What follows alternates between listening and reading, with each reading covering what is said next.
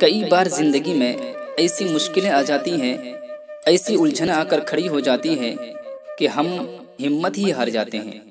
कोई रास्ता ही नहीं दिखाई देता। समझ ही में नहीं कुछ आता कि हमारी ज़िंदगी में ही इतनी परेशानियाँ, इतनी उलझने, इतनी तकलीफ़ आखिर क्यों है? क्यों हमें ही इतना दुख मिलता है? हमने क्या बिगाड़ा है किसी का? क्यों हमारे साथ हमेशा गलत होता है? जब भी आपकी ज़िंदगी में ऐसा वक्त आए ना तो ये कहानी ज़रूर सुनिएगा। ये कहानी आपको बहुत ताकत देगी, आपको बहुत हिम्मत देगी और आपको आपकी उलझनों से बाहर निकलने का रास्ता दिखाएगी। देखिए, एक इंसान की ज़िंदगी में बहुत उलझने, बहुत परेशानियाँ आती रहती थी और एक दिन तो उसका इतना खराब हुआ कि वो अपनी ज़िंदगी से परेशान हो गया और वो अल्लाह ताला से फरियाद करने लगा, ए अल्लाह आज तूने तो मेरा पूरा दिन ही खराब कर दिया। आखिर तूने मेरे साथ ऐसा क्यों किया? तो आवाज़ आई, मेरे बंदे क्यों तुम्हारे साथ क्या हुआ? तो वह इंसान बोलने लगा, आज मुझे सुबह जल्दी उठना था, लेकिन मेरा अलार्म ही नहीं बजा, और मुझे उठने में बहुत देर हो गई। एक तो पहले ही से मैं देर हो गई थी, और जैसे ही मैंने अपना स्कूटर स्टार्ट किया तो मेरा स्कूटर भी खराब हो गया। बहुत मुश्किल से मुझे एक रिक्शा मिली। देर होने की वजह से मैं अपने ऑफ़िस में टिफ़िन ले जाना भी भूल गया। और जब ऑफ़िस पहुँचा तो वहाँ होटल भी बंद था। बड़ी मुश्किल से कहीं से मुझे एक केक मिला। तो पूरा दिन मुझे उस एक केक ही से रहना पड़ा। लेकिन वो केक भी बहुत खराब था।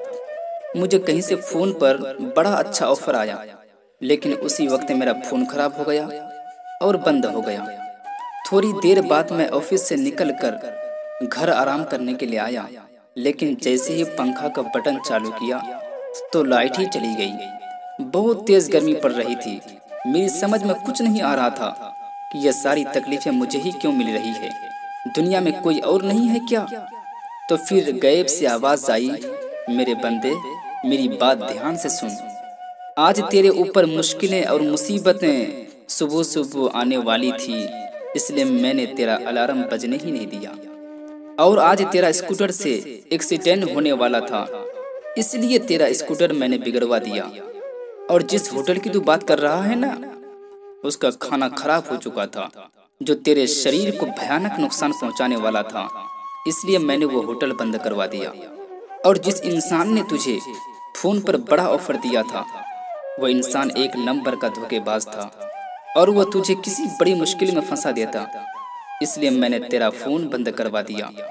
और आज तेरे घर में बिजली की सोट लगने से आग लगने वाली थी। इसलिए मैंने तेरी बिजली ही बंद करवा दी। मैंने तुझे परेशान करने के लिए यह सब उलझन नहीं दी। मैंने तो तुझे बचाने के लिए सब चीज़ें की है। जब उस इंसान को पता चला कि ये सारी चीज़ें मेरी रक्षा के लिए हुई हैं तो वो फ़ौरन अल्लाह ताला से माफ़ी मांगने लगा। तो गैब से फिर आवाज़ आई, मेरे बंदे, माफ़ी मांगने की कोई ज़रूरत नहीं है, लेकिन यकीन रख, मैं हमेशा तेरे साथ हूँ, मैं हमेशा सबका भला करता हूँ, मैं जो भी करूँगा, तेरी भलाई के लिए ही करूँगा, अगरचे तेरी समझ में आए या ना आए। कभी हमारी ज़िंदगी में ऐसी मुश्किल घड़ी आ जाती है, ऐसे हालात आ जाते हैं, जो हमें समझ नहीं आता कि यह सब हमारे साथ क्यों हो रहा है।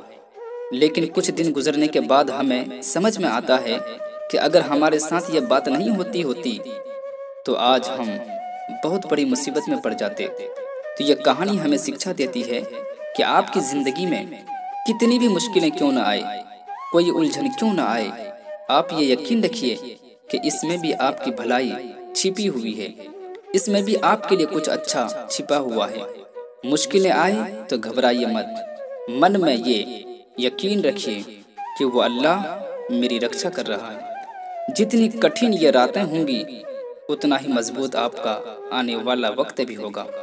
ज़िंदगी में मायूस कभी मत होना, क्योंकि क्या पता कल वो दिन आए जिसका आपको बेसब्री से इंतज़ार था। सफ़र में मुश्किलें आए तो हिम्मत और बढ़ती है। अगर कोई रास्ता रोके तो ताकत और बढ़ जाती है।